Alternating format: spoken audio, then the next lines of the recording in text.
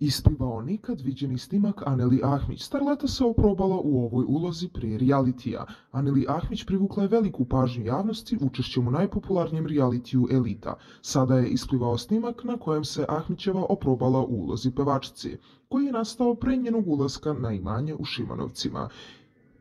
Ona je u džakuziju izvodila numeru maskarada od pevačice Svetlane Cece Ražnatović. Kako je to izgledalo, pogledajte u videu u nastavku.